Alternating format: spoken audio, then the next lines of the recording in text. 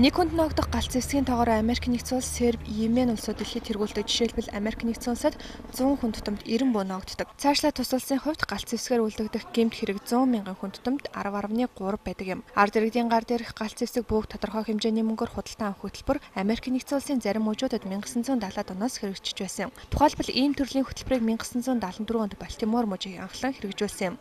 Гэсэн хэдий ч илэрхий үр дүнг үзүүлэг өнгөрсөн. Харин түүнээс хойш Мэриленд, Массачусетс, Мичиган, Нью-Жерси, Калифорни мужууд буу буцаан худалдан авах хөтөлбөрийг хэрэгжүүлсэн. Олонх мужууд иргэдийн гар дээрх бүх дэлгүүрийн бэлгийн картаар солилцож байгаа юм. Бөг буцаан худалдан авах хөтөлбөр хэрэгцсэн өнгөрсөн 5 жилийн хугацаанд Лос Анжелес хотно галц зэвсэгтэй холбоотой гэмт хэрэг 2 дахин буурсан гэж Лос Анжелесын цагдаагийн албанаас мэдэгдэж байна. 2009 оноос тус хотын цагдаагийн албаныхан ард иргэдийн гар дээрх буу зэвсгийг худалдан авах хөтөлбөрийг хэрэгжүүлсэн. Өөрөөр хэлбэл сайн дураараа галт зэвсгээ тушаавал галт зэвсэг тутамд 200 Америк долларын бэлгийн карт, буу, ангийн буу, гар буу тутамд 100 Америк долларын картыг өгч байгаа юм. Энэ жилийн хувьд энэхүү хөтөлбөрийн хүрээнд 778 буу цугларсан байна. Тэдгээрийн 41 нь хүчирхийллийн зэвсэг, 369 нь гар буу байгаа юм.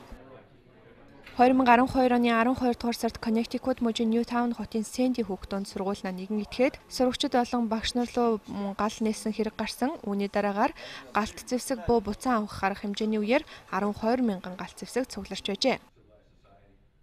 Лос Анжелес хотын дарга Эрик Гарсетигийн хэлж байгаагаар тус хотноо буугаар үлдэгдэх гэмт хэргийн гаралт олон жилийн турш өндөр байсан бөгөөд иргэдийн гар дээрх буу зэвсгийн тоог бууруулахын тулд шаардлагатай бүх арга хэмжээг авах ёстой ажээ.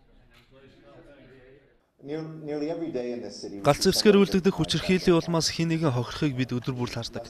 Галц зэвсгийг гудамжнаас буцаан татж, орсон суугчдыг аюулгүй байлгахын тулд бид энэ төрлийн гэмтэргээс сэргийлэх, таслах, зогсоохоор чадах бүхнээ хийх болно.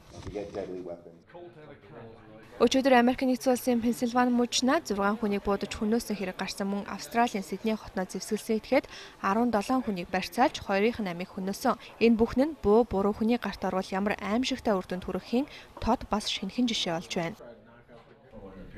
Нэг буудаа идгээд кофе шопт орж олон тооны хүнийг барьцаалж 16 цагийн турш дэлхийд дахныг төвшөөлөө. Үүний улмаас 2 ч хүн амиа алдсан. Галц зэвсэг буруу хүний гарт орвол ямар аюултай нэг жишээний нэрг болсон. Тиймээс энэ төрлийн асуудалд анхаарлаа хандуулах нь чухал байна. Лос Анжелес хот буу буцаан авах хөтөлбөрийг 2009 э, оноос хэрэгжүүлж байгаа бөгөөд энэ хугацаанд 13600 ширхэг бууг иргэдийн гар дээрээс аваад байгаа юм. Ингэснээр буугаар үлдэгдэх гэмт хэргийн тоог бууруулахад онцгой нөлөөлсөн байна.